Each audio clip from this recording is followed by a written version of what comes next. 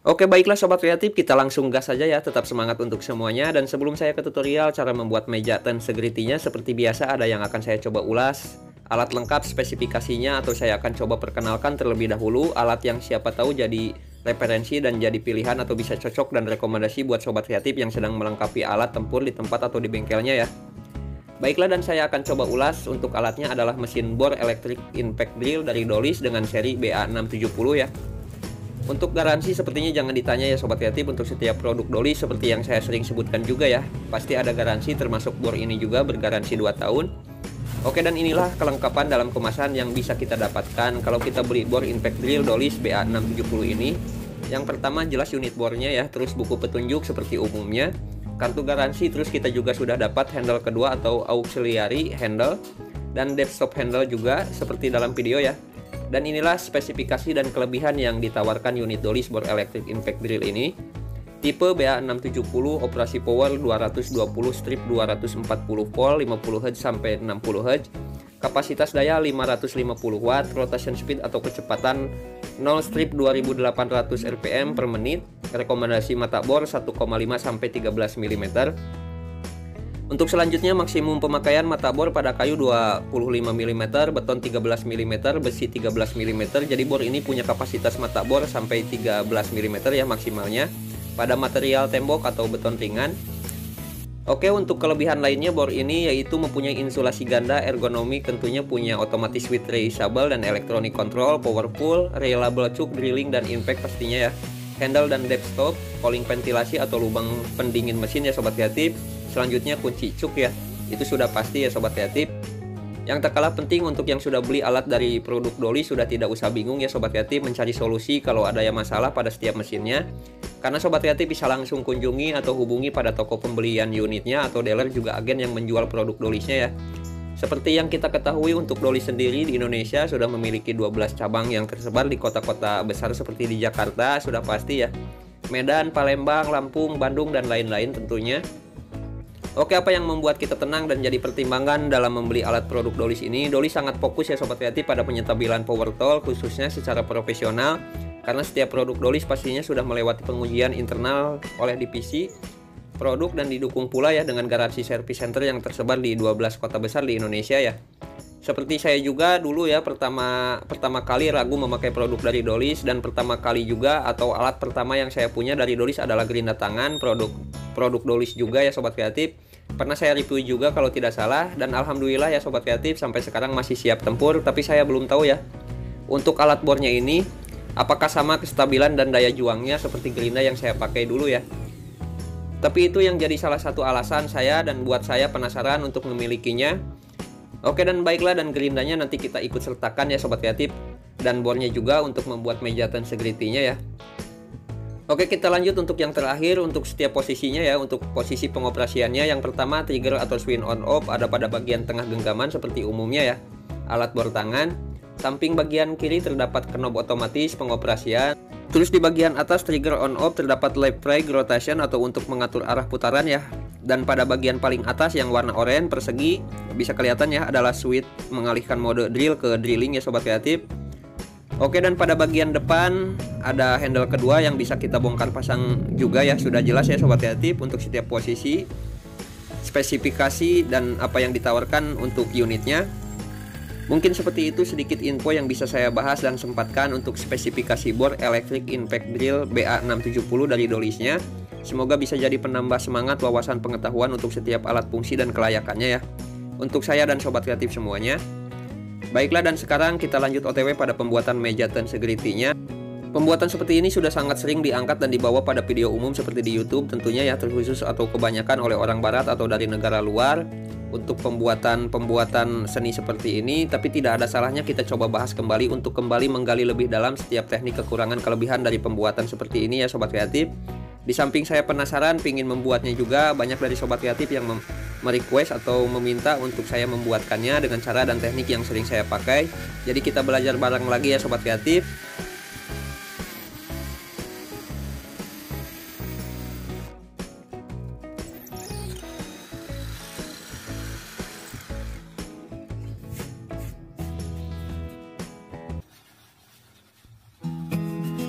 Assalamualaikum warahmatullahi wabarakatuh. Wilujeng Sumping kembali di channel Sederhana HD Karya.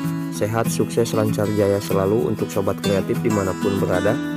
Mari kita belajar bareng lagi di channel Sederhana ini. Kita perluas pengetahuan, kita kembangkan setiap peluang.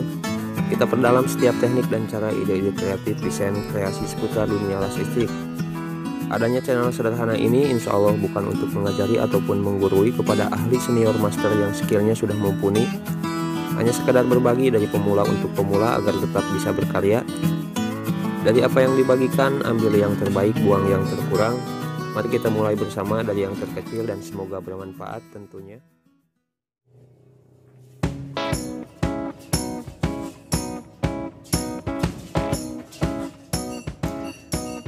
Baiklah sobat kreatif, di sini saya sudah siapkan bahan yang akan saya pakai dalam pembuatannya. Di sini saya pakai besi hollow ukuran 40 x 40 ya, besi hitam dengan ketebalan 1,8 mm. Yang pertama di sini saya akan coba tandai terlebih dahulu hollownya dengan ukuran masing-masing 40 cm ya. Karena di sini saya akan membuat meja dan segeritinya dengan ukuran 40 cm. Ini ukuran luar hollownya ya sobat kreatif. Dan yang akan saya buat pertama adalah membuat dua frame persegi 4 dengan ukuran 40 cm dan dalam pembuatannya saya akan pakai alat sederhana agar sobat kreatif yang masih punya gerinda tangan, mesin las, dan bor tangan di tempatnya bisa dengan mudah mempraktekannya ya. Dan saya juga akan coba buat frame-nya dengan cara atau teknik manual tanpa kita potong satu persatu ya sobat kreatif tiap ukurannya. Dan untuk cara ini sudah pernah saya buatkan videonya ya. Untuk yang belum tahu bisa dicek di playlist videonya ya sobat kreatif.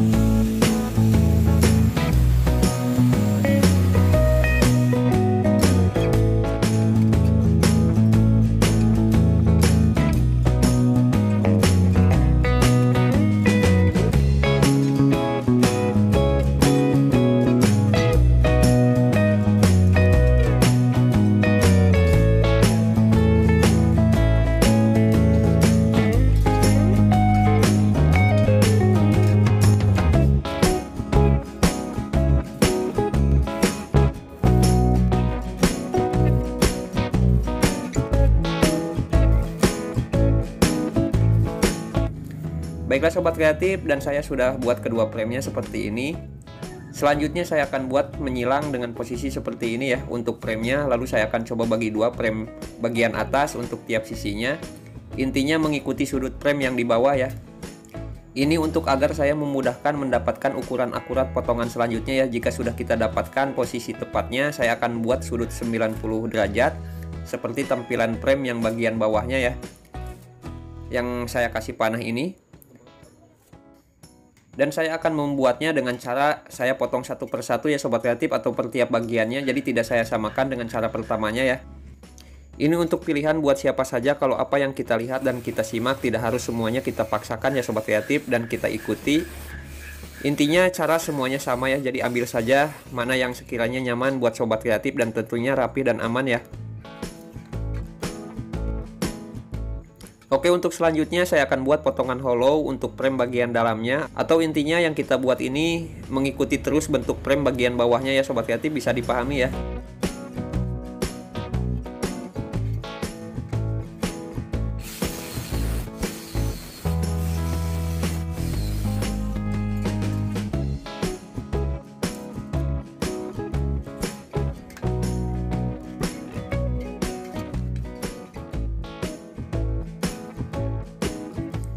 Dan seperti inilah keseluruhan atau bentuk meja yang akan saya coba buat. Sekarang saya akan coba cantum terlebih dahulu per tiap sambungannya ya sobat kreatif.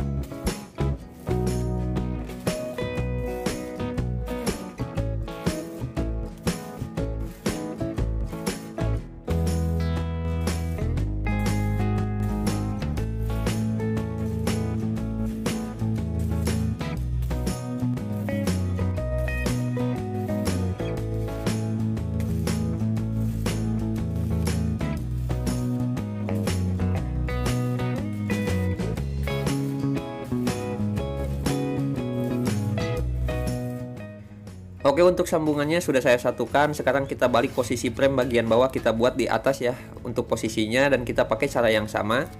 Kita ikuti bentuknya dengan mengikuti frame bagian bawah ya Yang sudah jadi.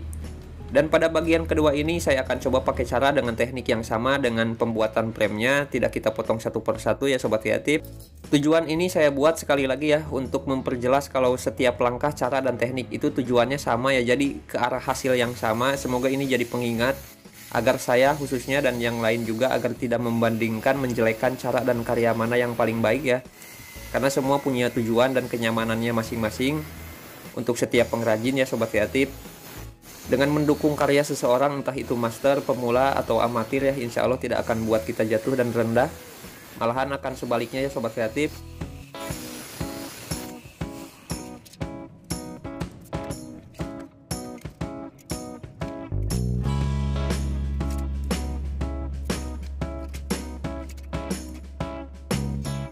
Oke kita lanjutkan lagi ya sobat kreatif. Kita cantum kembali seperti yang pertama ya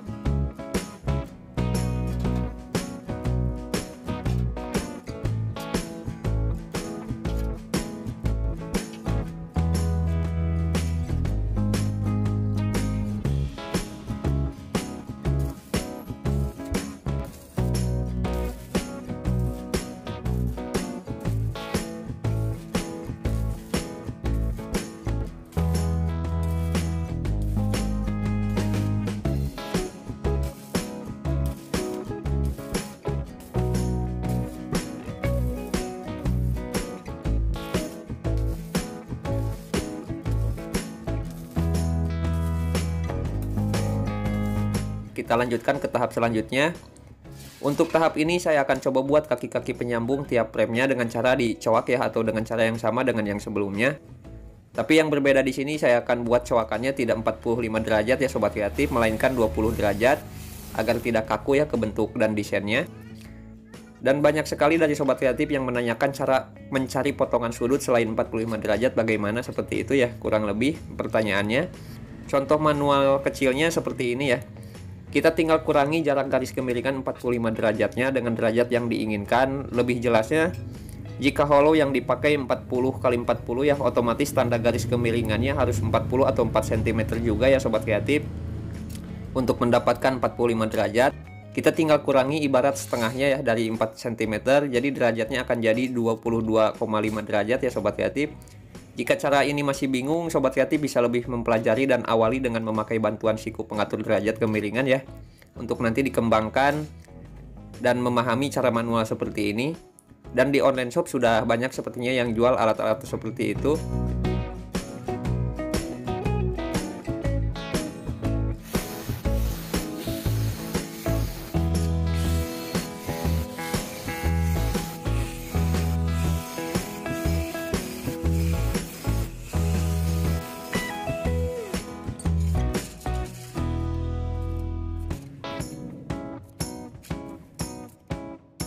Oke dan baiklah sobat kreatif dan seperti inilah kurang lebih yang saya coba buat ya untuk kaki-kakinya.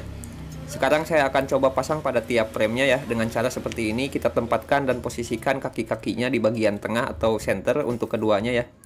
Dengan posisi menyilang dan berkaitan satu sama lainnya ya sobat kreatif. Yang terpenting kita harus buat kedua kaki-kakinya tegak lurus tidak miring ya. Kita bisa pakai atau cek dengan siku magnet atau lainnya ya untuk memastikan si kaki-kaki si kaki-kaki mejanya tidak miring ya sobat kreatif.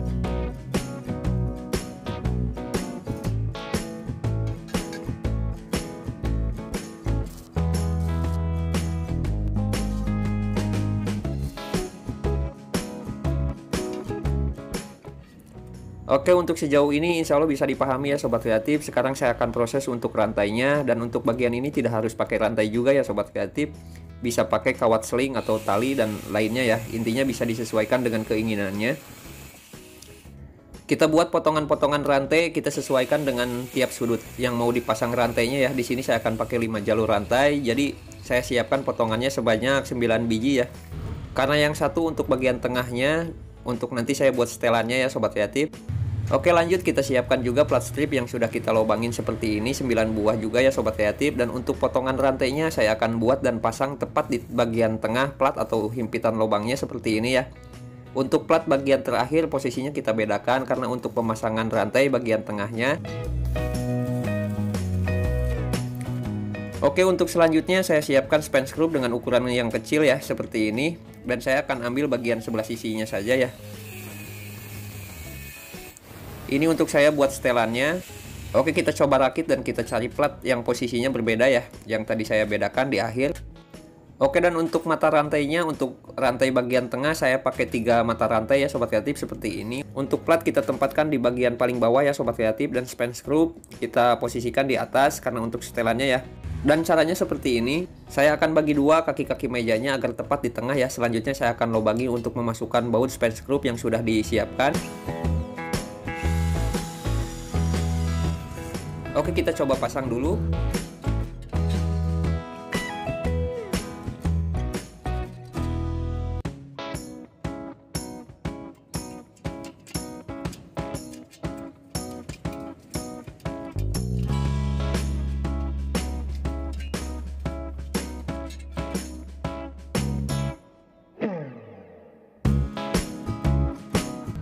Jika sudah, sekarang saya akan proses rantai bagian sisinya untuk kita pasang di tiap sudut premnya ya dengan cara yang sama untuk kelima rantainya.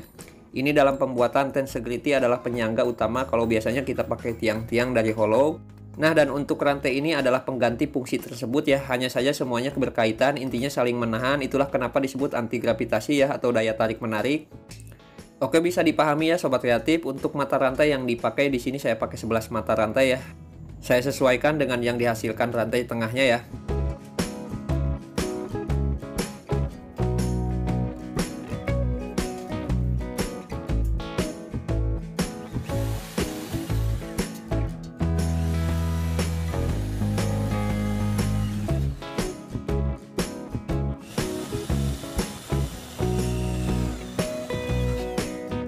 Oke kita coba pasang untuk keseluruhannya ya sobat kreatif untuk keseluruhan rantainya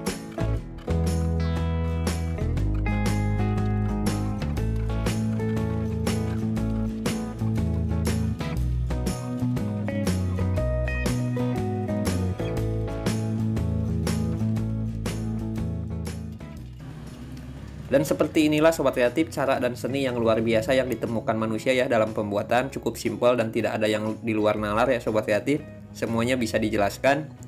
Untuk jelas fungsinya untuk rantai pada bagian tengah adalah penahan tekanan ke bawah ya dan untuk rantai pada bagian sisinya adalah penahan terjadinya melewat ke samping atau miring ya sobat kreatif. Cukup sederhana ya. Baiklah sekarang kita coba lanjutkan atau sempurnakan pembuatannya. Dan karena ini untuk meja jadi saya akan pasang alas bagian atas dan bawahnya ya. Biar yang kita buat hari ini utuh tidak nanggung ya sobat kreatif. Dan untuk hasil akhirnya setelah di finishing atau kita cat sobat kreatif bisa cek di IG HD Karya. Untuk linknya sudah saya cantumkan di deskripsi ya. Termasuk juga dengan kontak saya atau nomor WA saya sudah saya cantumkan di IG dan insya Allah saya akan coba bagikan apa yang dibuat untuk agar kita bisa mempelajarinya bersama-sama ya sobat kreatif tidak di YouTube saja, insya Allah di IG dan semua media sosial HD Karya juga ya. Oke baiklah sobat kreatif, salam sehat, semangat untuk semuanya dan seperti inilah tidak besar yang saya buat di kesempatan kali ini. Insya Allah hanya niat berbagi meski kita seberapa, tapi harapan utama semoga bisa bermanfaat besar untuk saya dan lainnya ya. Mohon maaf dari segala kekurangan penjelasan, praktek, dan tutur kata ya semoga dapat dimaklumi oleh semuanya karena saya masih belajar juga. Apa yang disampaikan semoga mudah dipahami dan tidak jadi singgungan yang menyakiti ya untuk semuanya. Dan dari praktek semoga bisa jadi ilmu baru meski sederhana untuk besar kecil manfaatnya. Dan agar kita semua semangat dalam berkarya ya karena kita tahu untuk berkarya tidak harus pada pekerjaan yang besar tidak harus punya tempat dan bengkel yang besar dan tidak harus punya perlengkapan yang besar juga ya sobat kreatif. Kita hanya harus punya niat yang besar dan yakin setiap langkahnya. Insya Allah assalamualaikum warahmatullahi wabarakatuh